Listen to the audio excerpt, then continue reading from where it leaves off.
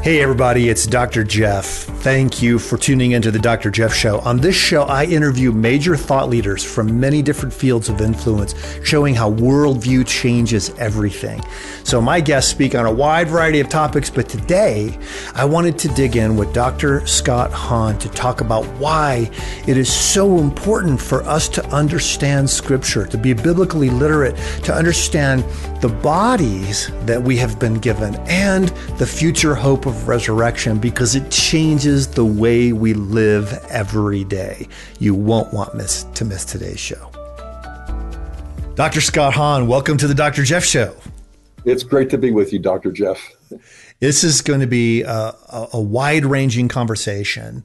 Uh, and there's going to be a lot of serious element to it because we're going to be talking about, among other things, your recent book, Hope to Die where you're just coming straight out and dealing with death, but giving us hope at the same time. And, you know, 2020 was a year of death. And it really was. 10% more people died in the United States of America. I don't know other countries' experiences, but I assume that it was similar. And um, I, I went, went through a, a cancer battle. So I was thinking about death all of, all of, you know, not obsessively, but thinking about it all of the time. But you say that we can have hope because of the resurrection. And I cannot wait until we get into that part of the discussion because hope is really what we need right now more than anything, right? It sure is. Let's uh, let's let's get to know you a little bit, though, uh, Dr. Scott. Can, should I call you Dr. Scott? Dr. Scott Please on the Dr. Jeff show? Yes, Scott. Scott. Okay. Okay. Uh, Scott, let's get to know you a little bit because one thing I noticed when I was getting to know your bio and watching a couple of videos, you attended Grove City College, which is one of my favorite schools, and you triple majored. majored okay, so you're an overachiever at times two, but you triple majored in theology, philosophy, and economics. Now, when I saw that, I just knew a lot of the people who are listening to this and watching this are going to be asking, okay, theology that has to do with Jerusalem, philosophy that has to do with Athens, economics, what? Wall Street? How, you know, how do Jerusalem and Athens and Wall Street fit together? Yeah, good question. Okay, so I had a conversion experience in 10th grade and uh, there was a spiritual awakening when I found Christ, but also the gift of the Holy Spirit just made Scripture come alive. Before, I couldn't pay attention, I couldn't stay awake. And then after, the, the, the Scriptures just seemed to catch fire. And the deeper I went, the more it became clear to me that a biblical worldview was what I was hungering for. And so by the time I was finishing up 12th grade, uh, I was on my third round trip through the Bible, and I knew where I wanted to go to study, and that was Grove City. I wanted to study theology because they had good scripture professors there, as well as philosophy. But since my father was paying tuition, he added, you can choose business administration, accounting, or economics. And so I chose economics. In my first semester, I discovered that I was, gla- I was glad. I was very grateful to my father, not just for the practicality of it, but because at Grove City, there was an Austrian approach to economics. Yes, that's right. And so, you know, it's Jerusalem, Athens, in this case, Vienna, because it was all about Mises and Hayek and Menger and Böhm-Bawerk and others. And so that became my first major. And in fact, my first publication was an article on the outcome of income tax in the Freeman in 1980, an economics journal that is Austrian in its perspective. And so I still embrace much of the truth of that overall approach of, of uh, but I'm not a Kantian like uh, like Mises. I'm not a, I'm not a, an anarchist like Rothbard. Um, but I learned to think in big picture terms. And studying theology was always my first love. I realized in philosophy, I also found a kindred spirit in the last person I expected to love, and that was St. Thomas Aquinas. And so I became the evangelical Thomist, the Calvinist Thomist for my four years there. I was still at that point relatively anti Catholic, not relatively vehemently, uh, but that's a story for another day. In any case, what, what happened to me my freshman year at college was uh, I, I, talked to Dr. Sennholz about a book that I had signed out in the library, uh, Introduction to Christian Economics by Dr. Gary North. And I said, he mentioned you a dozen times in that book. I found it in the index. And he said, oh, I know him. And I also know Rushdoony. And so he pointed me to the Institute of Biblical Law.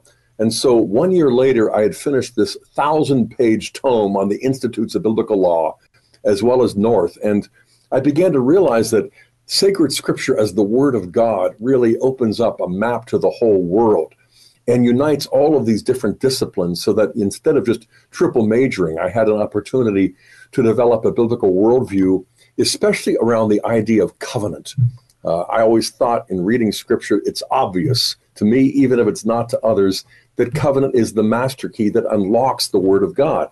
Old covenant, new covenant, the new concealed in the old the old revealed and fulfilled in the Talk new. Talk a little bit more about that, uh, Scott, because I, I, want to get into that.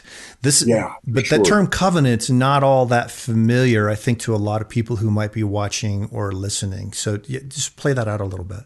Right. Okay. So, you know, like a lot of people back then, I assumed that the meaning of covenant was, you know, religious jargon for one thing, but essentially synonymous with contract, only a sacred contract. But the deeper I went into the Old Testament, the more I realized that no, it's very different. In establishing a contract, you exchange promises. I give you my word, you give me your word, and our words are our names, and the names are our signatures. And then once we exchange property, you know, we can go our merry way. But in a covenant, you have to begin with promises, but then you have to invoke the name of God. And instead of just my name or your name being the glue that binds the contract, it's the holy name of God that means an oath, that means a covenant. It means not just the glue for a temporary exchange, it's the cement that makes the two one. The primordial form of the covenant is marriage in Genesis 2.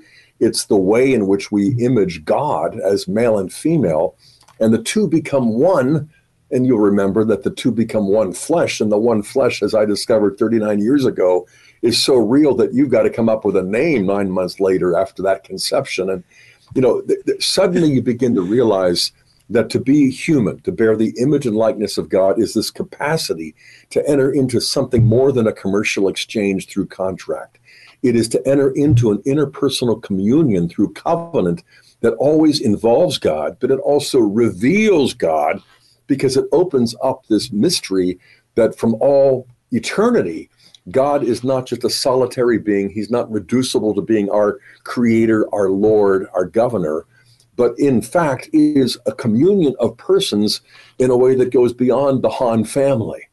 And so for me, covenant was gradually this discovery of a worldview that did more than integrate philosophy, theology, and economics, and for that matter, politics and sociology and psychology it really integrated my own life of study as a, an undergraduate, my own life of prayer, and my own life in in ministry, in Young Life. Uh, Young Life had been the instrument that God had used back in ninth and tenth grade to bring me out of out of crime, juvenile delinquency. We'll leave it in generic terms. And so I returned the favor when I got to college and spent three and a half years devoted to about 15 to 25 hours a week doing Young Life reaching the unevangelized kids in the high school, which for me back then also included the Catholics. Right. Uh, but in that in that process, I just found an integration of a unity of life, you know, body, soul, mind, and spirit, but also individual and interpersonal. And by the time I finished college, it was ready to put theory into practice. And so I got engaged my senior year to the most godly and beautiful woman on campus, and we got married shortly after we both graduated in 79. Wow. It's a great story.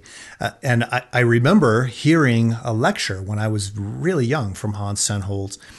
He oh. flew from Grove City up to New York. Foundation for Economic Education was hosting an event, and I attended yes. that. It was so uh, so uh, that was a that was a lot of fun. I think I was really shaped by that study of economics because I saw how it it, it kind of backfilled everything else right. in my understanding of how a biblical worldview applies to life. But that's so the the idea of covenant. This is why we talk about a marriage covenant instead of a marriage contract.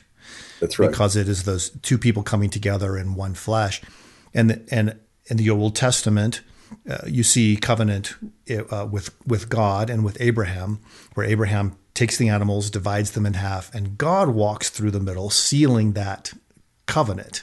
A so, covenant oath, and you know that term in Latin, covenant oath, is as Tertullian taught us and Augustine too, sacramentum.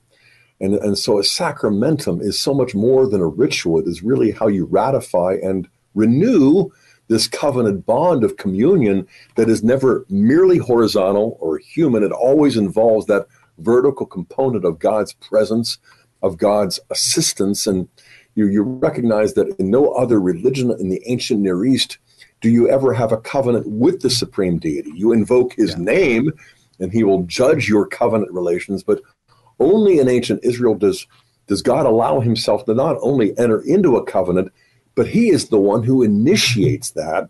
And even when we break it, he finds a merciful and just way to renew it. And so this has been my passion for 45 years. We've been married for 41 years, but it was when my I was a freshman at college and all of my classmates were going off to a Pentecostal church getting rebaptized because they thought baptism as a baby means nothing. And I'm thinking that might be right, but my professor said, no, dive into this before you make a rash decision and to discover that the sacrament of baptism in my relationship with Christ is significant, just like I don't have any remembrance of when I was born to my parents, you know, but the fact is that was where I got life in the natural order. That's when I discovered my parents. And so take that up a notch and in the supernatural realm, it really does point to how it is we are made to become children of God and not just Fred and Molly Lou Hahn in my case. And so, covenant, the old covenant, the natural human family, begins with a marriage. And then I see how God renews it with Noah aboard the ark, where there are four married couples that are united as one covenant household. And as you mentioned, Abraham is described by his contemporaries as a chieftain. So Sarah's barrenness is not just a private issue, it really is the family of God facing the end of the line until Isaac is born. And then suddenly you realize that, you know, in Genesis 14, there are 318 trained servants of Abram who he's ready to take into battle. Yeah. He didn't have just one wife, he had a whole tribe. And so the tribal family of God is renewed through Isaac and Jacob. And then Jacob, some 12 sons become 12 tribes. And suddenly at Sinai, you can see what God is doing as a father. He's renewing the covenant, only now Israel's a national family. And by the time you get to the new covenant, it's an international, a universal family. And so you just begin to see how God is not just lording it over subjects, He's fathering a family from a marriage to a household, to a tribe, to a nation of 12 tribes until finally you truly have a universal international Catholic Church. And this is the newness of the new covenant. And, you know, to see this through the eyes of a father, our divine father. At the same time, I was becoming a father roughly 39 years ago. You know, uh, nothing changes a man as much as becoming a dad. But to combine that with discovering God's fatherhood is much more perfect than mine will ever be. It's like nitro and glycerin. It's powerful. Yeah. And this opens up the Old Testament of the scriptures for people. So, so those who are watching or listening right now, when you go back and reread scripture, taking in in mind what Scott has said about covenant, you're going to understand and appreciate God's work in your life in a, a whole new way.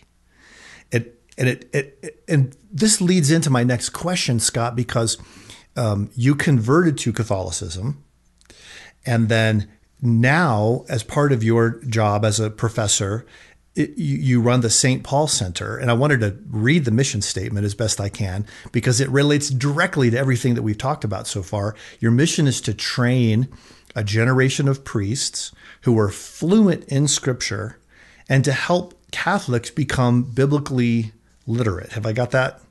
That's exactly right? right. Yes. So, so first of all, why is biblical literacy so important? I mean, people will read a little devotional here and there, but why is that such a big deal? Yeah. So, you know, for us, biblical literacy for lay people, especially, but then also biblical fluency for clergy, for preachers and teachers, that's the twofold mission. And, you know, on the one hand, it's simply because of the power of the Word of God. You know, on the other hand, especially for Catholic Christians, you know, the Mass is obligatory. So you have to go to worship on Sunday, and you also have to hear the Word of God. You might hear other resources that are read, but the only thing that has to be read every Sunday in every worship service we call the Mass is the Word of God. And invariably, there are three readings or four, and they're always taken from the Old Testament and the New. And so often they're isolated, you know, but in fact, they're cumulative. And so to recognize how to connect the dots between the old and the new in the worship, in the liturgy of our Sunday service is, to me, life changing. And, yeah. you know, so to see how the new is concealed in the old and to discover how the old is revealed and fulfilled in the new, not just back in the first century, but in the 21st century through the power of the Holy Spirit. You know, my favorite story in the Bible will come as no surprise. It's the uh, road to Emmaus where Jesus decides what to do with his first day back from the dead. He must have had lots of options. I like to think, you know, if I were Jesus, I think I would have dropped in on Pilate to see how clean his hands still were, you know, and maybe go comfort my mother or drop in on Caiaphas and the Sanhedrin and whisper, I'm back while hovering over them all. But instead, what's so startling, although it doesn't really shock us as much as it should, is that he chooses to spend most of the day going incognito on this long road, seven miles from Jerusalem to Emmaus, with two men who have been following him for months, if not years. They don't think of themselves as anything but his followers, but they're so forlorn. You know, are you the only one who doesn't know these things that have happened in Jerusalem? They asked the stranger, which is so ironic because he just so happens to be the only one in all of Jerusalem who knows exactly what happened right. and why and what difference it's going to make for the redemption of the world, but he plays along with them. And then he shows that it was necessary for the Christ to suffer these things before entering into his glory. And beginning with Moses and the law and then the prophets, he spends hours on Easter Sunday, his first day back from the dead, leading probably the greatest scripture study in all of history. And not once do they recognize him until they have what we liken to the Eucharist, and that is taking, blessing, breaking, giving that bread. In Luke 24, just as he does in the upper room in Luke 22, when he takes, he blesses, he breaks, and he gives. And finally, their eyes are open in the breaking of the bread. But that moment, he disappears because once we recognize the resurrected Lord in his body, blood, soul, and divinity is here in our midst through our worship, wow. he is not playing hard to get. Now you see me. He brought them precisely to the point where he wanted them to be. And the Eureka grace is such that they say, Did not our hearts burn within us That's as he opened the scriptures? And then they go all the way back and report to Peter and the apostles what had just happened. You know, and I can almost picture Peter saying, Wait a second, you want us to believe that the risen Savior, his first day back from the dead, spent hours leading a Bible study with what's your name again? Clopas and your friend. We were here the whole time, you know? I think Clopas might have said, well, if you hadn't denied him three times, maybe he would have showed up with you instead. But it wasn't a time to hurl accusations. It was a time to bear witness to this amazing grace filled moment of the resurrected, of the resurrection, and who should suddenly appear our Lord in the upper room. And then Easter Sunday afternoon and evening, he leads the second lengthy scripture study. I mean, it's exhibit A and B, proof positive that Jesus prioritizes the importance of studying scripture and understanding the promises of the old and how they're fulfilled by him in the new, but especially through his passion, his death, but above all, his resurrection and his ascension into heaven. I mean, if that is how the Lord of Lords is going to choose to spend his first day back from the dead, I think we ought to be reassessing our priorities forthwith. yeah, that's right. That's right. And and for him to give the flow of all of Scripture, because I have heard people say, well, you know, the Old Testament is called the Old Testament because it's the old, and we don't need that anymore we have the New Testament. We have the better, the improved version. So we'll stick with that. Rather, but Jesus spent his time tying it all together to show that it was all this revelation that had come from That's God. right. And just if I can insert a footnote here, nowhere do the New Testament writers ever refer to what we call the Old Testament as the Old Testament. the term is always graphe, scripture, or the oracles of God. The one time in 2 Corinthians 3 where Paul speaks of the old covenant, he's referring to the letter that kills.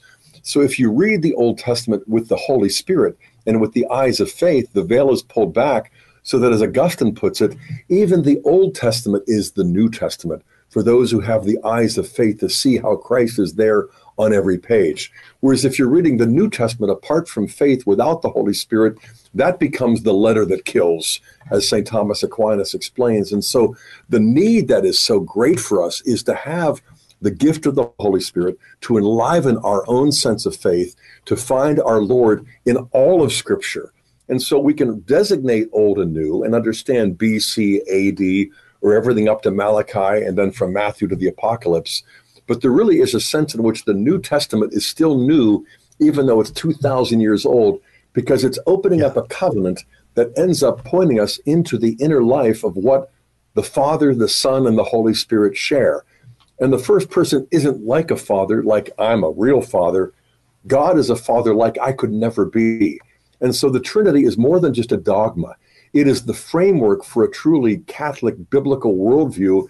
And I can say Catholic small c because when we affirm the Apostles' Creed, one holy Catholic and Apostolic Church, even if you don't happen to be Roman Catholic like I am, and I'm convinced that Roman is still right.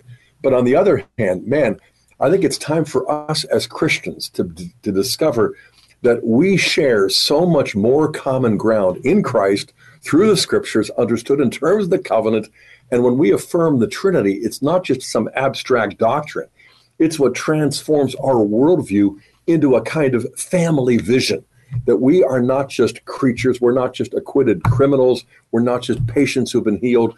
We are sons and daughters of God, and that's who we'll be in a trillion years, and that will be the first minute of eternity. We have got to adjust our compass and our clock. This biblical worldview yeah. is almost too good to be true, except yeah. it's the truth. This is this is so rich. And I'm always trying to think from the perspective of somebody who's hearing this who might be a little bit skeptical it's a fire hydrant. I, I, I know it is. There's there's so much to it.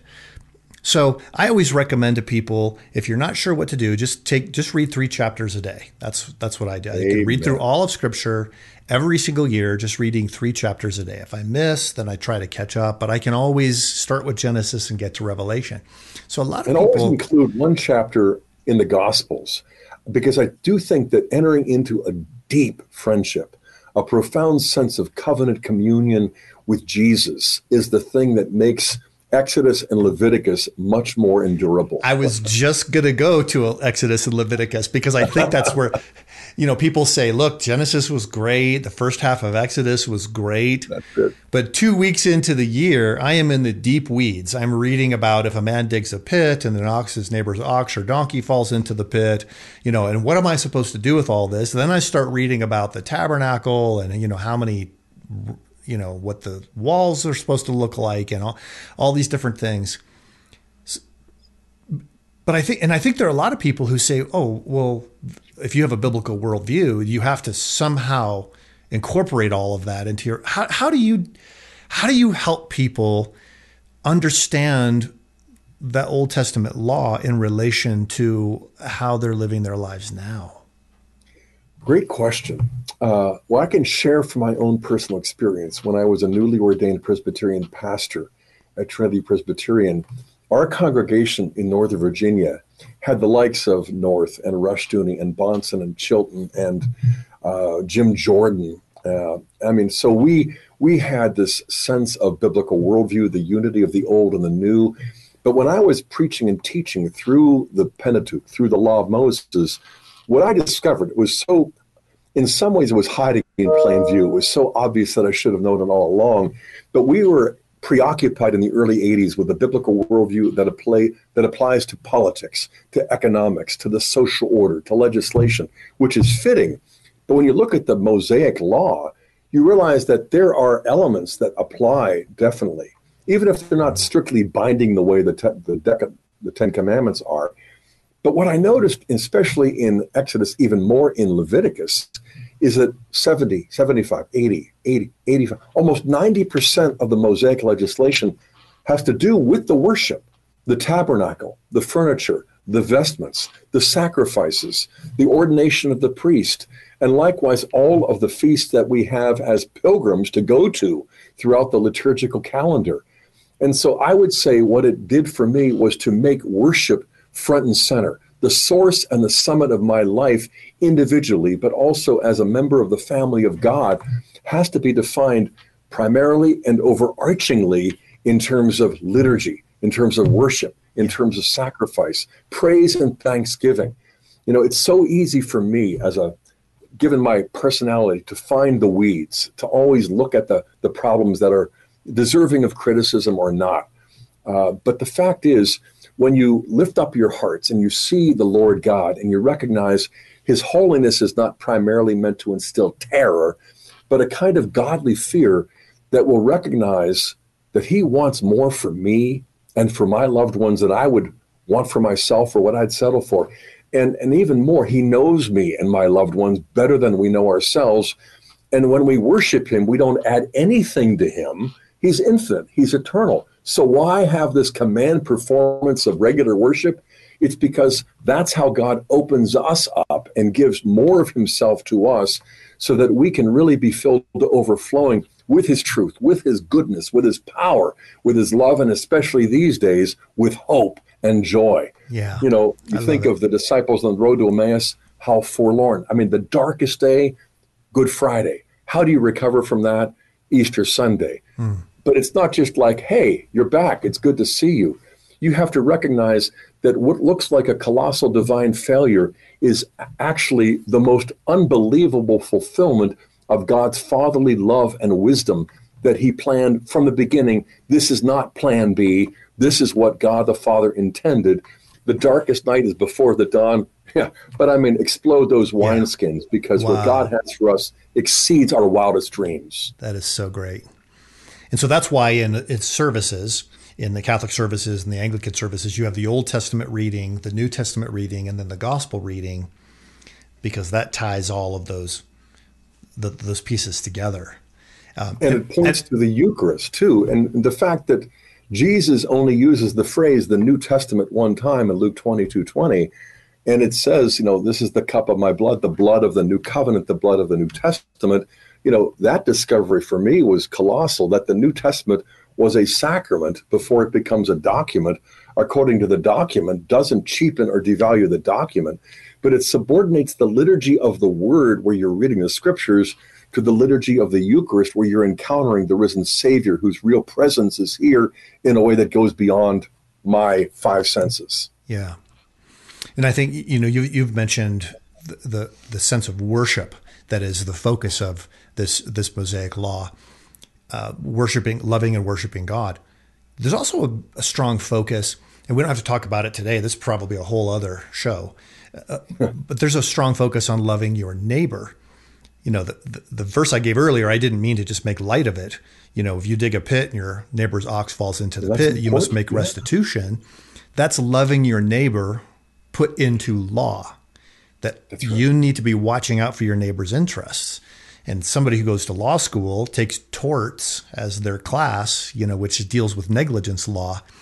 They're learning how that principle of loving your neighbor, which originates with the Mosaic law, applies to our own society today.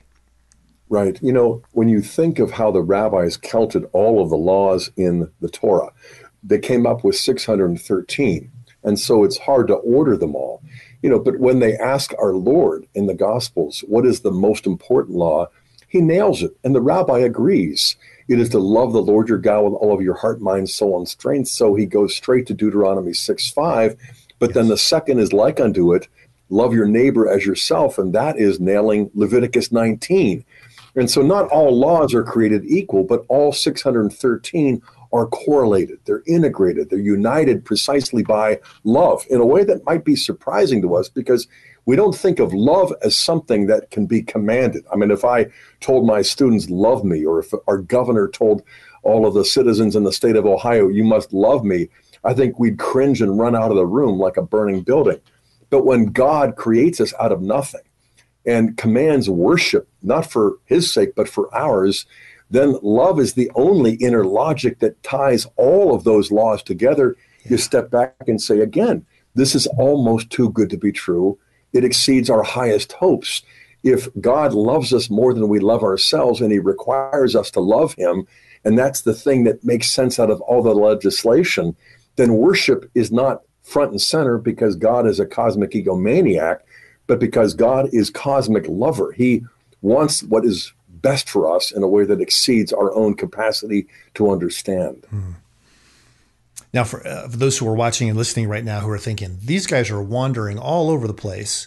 uh, and uh, where is this? Uh, I assure you, we have been focusing on laying the groundwork for what we get to talk about next, which is what we started the show with. I kind of teased it out there and then just dropped it, but it's, it's front and center here.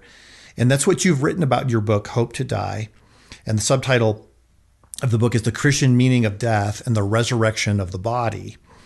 Uh, because our so much of what the apostles were doing was responding to a heresy that was prominent at the time, Gnosticism, which said that the, the world was created by an evil demigod and the real God doesn't have anything to do with our bodies or what's happening in the physical world. He's, it's all spiritual. And today, Scott, it seems that people have taken that on. Even people who have no belief in God at all are now saying, well, my identity, for example, my sexual identity is who I am as a person. So if I feel that I am a woman trapped in a man's body, then that is who I am, and you have to accept that it's almost as if people have stopped seeing any relationship between who they are and their body, which can actually lead away from hope and lead to a fear of death, yeah. which is what you address in the book. And so I don't know exactly how to unravel that and prepare for uh, how, how to talk about your book. But maybe among other things, we need to tie back that relationship between our souls and our bodies. Yeah, I mean, what God has joined together, let not man put asunder. And that's not just male and female, that's body and soul. And I think that in our culture today, our worldview, even though we don't think we have one, but de facto, I think most people think like good materialists. You know, they think that the body is all there is, and yet I'm something other than my body. And that's sort of incoherent or inexplicable.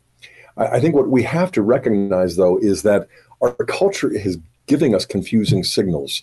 It's a kind of love hate relationship. You know, you almost love your body too much and then indulge it. And then you begin to despise it because of the addictions or the weaknesses and the disease that come our way. And it's, I suppose, similar to other forms of addiction, where you like drugs too much and then you despise yourself and then the, the needs you have, or right. sexual addiction, or alcoholism, and so on. But I, I think what we have to recognize is that the body is more than just a, a, compartment. It's more than a carton. It's more than a wrapper that uh, we find ourselves in for now.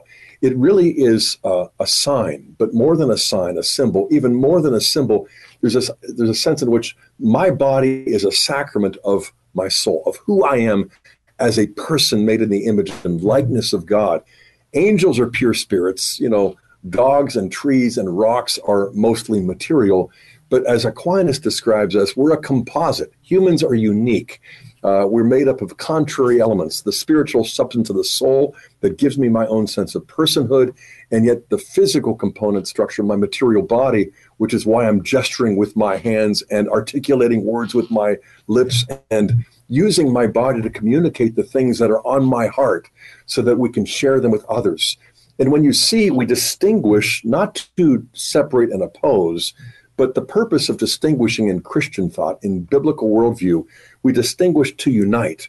We distinguish the human nature of Jesus and the divine nature to show how they're united in his person. We distinguish the material element of the body from the spiritual substance of the soul to show how they're united in me as a person and in you as well. Then suddenly, death is not just, you know, finally shedding the skin, we're molting it like snakes to be freed. No, the idea that a body is sort of a prison was a Platonic concept that gets it wrong. On the other hand, to think that we're nothing more than bodies is also reductionist and demeaning. And so you have this spastic way of thinking that was characteristic of Gnosticism, because these Gnostic groups were either you know so libertine that they didn't care what you did with the body, immorality, drunkenness, or on the other hand, so ascetical that you denied yourself the bodily needs. You saw sexuality as something inherently evil, and it's like, well, which is it?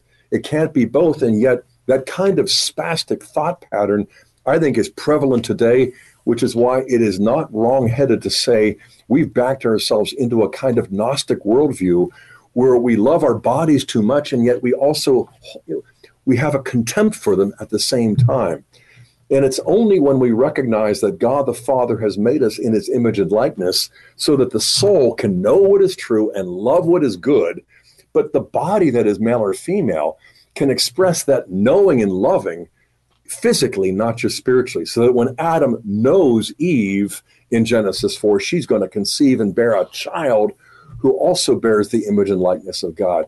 I'm, I'm convinced that theology, as the queen of the sciences, has got to be given back her throne, but mm-hmm. only when we're really ready to integrate scripture and theology, which is why yeah. we call it the St. Paul Center for Biblical Theology. It's not right. just Bible study and it's not just studying doctrine there really is a marriage that I think we need to rediscover. Very fruitful one, too. Scott, tie that in uh, because I, I, I, know any, anybody who's who's with us at this point in the conversation has had h- horribly painful um, experiences with the death of loved ones in this oh, last year. And yeah, there mean, seems to be this tremendous uh, fear of death that almost ends up, it just grips the whole country. It affects everything, how we see one another, the laws that we make, you know, the, the lockdowns, all of these different things. Um, help us understand that fear of death that people have that comes from that spastic, weird relationship between body and soul. Yeah, good. Okay, so you can see how we have life that is physical in our bodies. It's natural. We breathe and all of that. But we also have a life that is spiritual, that is a kind of higher life. They're not opposed, and yet they are properly ordered in a hierarchical way, that the life of the soul is to govern the life of the body. Uh, and you can see this all the way back in the beginning. When God breathed in Adam's nostrils the breath of life, that's how he becomes a living being, a nephesh in Hebrews 2 7, in Genesis 2 7.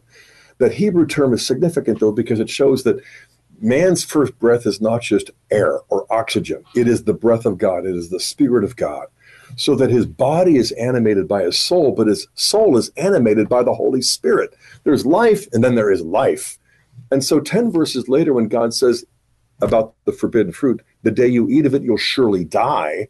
He could have said, You'll deserve to die. You will be sentenced to die. You will begin to die. But he says quite clearly, On the day you eat of it, you'll surely die, which raises the question what happens next? Because when you turn the page and they eat, they don't die. They don't die physically. Right. But you can recognize what Philo, the first century Jewish philosopher, and St. Augustine also saw that there's death that is physical, but there's also a death that is spiritual.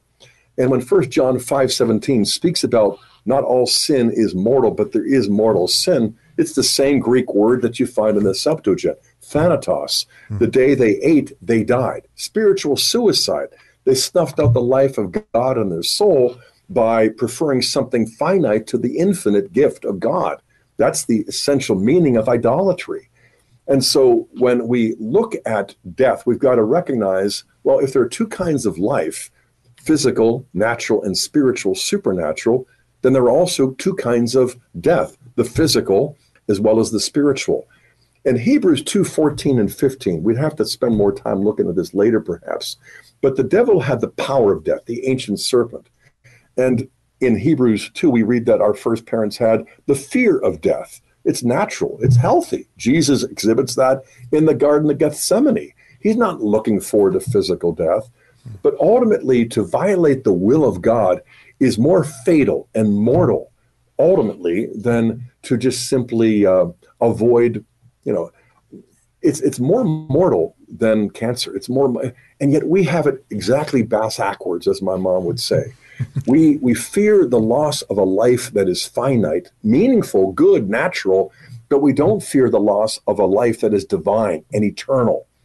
And you know, it, it's proper to have sacred, you know, the sacred view of life. We're pro-life, the natural, the human, the divine as well. But I think what we have to recognize is that this human life is of ours is the mortality rate is 100%. None of us are going to get out of here right. alive. Yeah. But as Jesus shows us through his life, death, and resurrection, plan A always involved something whereby God would take the grain of wheat that falls into the earth and dies in order to produce even greater fruit. Jesus' resurrection is not just a resuscitated corpse like Lazarus. It's not just his legal vindication of innocence. It's not just the fulfillment of the prophecies about being raised on the third day. It's nothing less than the divinization of his human nature. And it doesn't add anything to the eternal Son of God, but it's how he adds everything to sons and daughters of men so that we can enter into what he had from all eternity. Hmm. You know, again, we've been made partakers of the divine nature through a death that wasn't the loss of life, but the gift of life. Hmm. He wasn't the victim of Roman violence there at Calvary as much as he was the victim of divine love. And you know, this again gets us to the, the portal, the very core, the nucleus of a Christian biblical worldview. And so it would take, you know, hours to unpack this adequately for people to feel as though I'm doing anything more than just aiming a fire hose at them. But I mean, this is why we're on the planet. This is why we're mortal. God isn't up there saying, yikes, they're all going to die. What are we going to do? Well, we're going to resuscitate their corpse at the end of time. This is all proceeding according to a plan, you know, like Paul would say, you know, who has known the mind of God? I mean, I would say, who to thunk it? Trust mm-hmm. God more than we trust ourselves, and we'll realize that the best is yet to come. And again, it's not plan B. Hmm. This is so good. Scott, as I, I work with young adults, as you know, and uh, you, you, have shared a story with me about how your son read through the book Understanding the Times, and, and that really made a big difference for him in his life. I love that story. But and I work when I work with young people, I I always want to kind of ask at the as sort of the last question in the show. You know, what what is your word to the young adults today who who need hope, who live with that fear of death? You know, what what what is your word to the rising generation? Well, you know, I shared with you before we began, Jeff, um, about how my oldest son, who's now a PhD, Dr. Hahn, professor of scripture and theology at Mount St. Mary's Seminary, Emmitsburg, I am so proud of him.